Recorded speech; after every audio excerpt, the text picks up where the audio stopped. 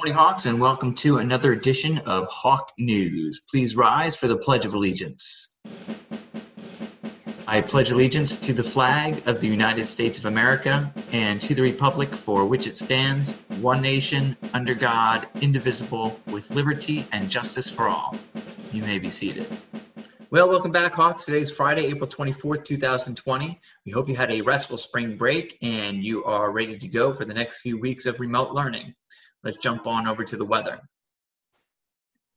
It's going to be rainy again today, high of 49 and a low of 40. Tomorrow is going to be a little bit nicer, a little sun out tomorrow, but then moving into Sunday and early next week, we have to look forward to more rain. So get out and enjoy the sunshine tomorrow. Anyway, here's a look at next week's weather.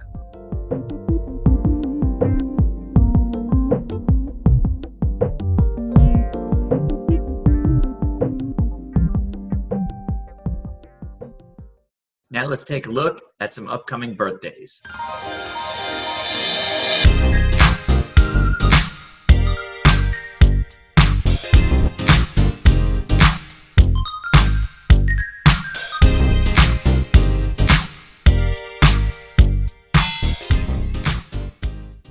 Did you know that Wednesday, April 22nd was Earth Day?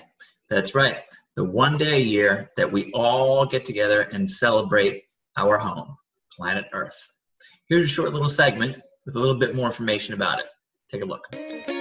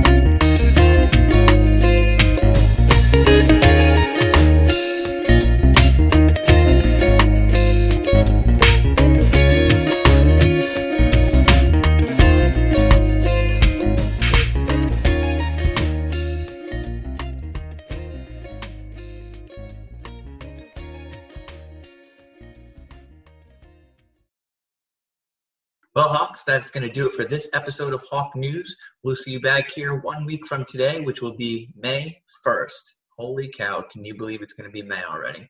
Well, until then, stay safe, stay healthy, and we'll catch you later. See you.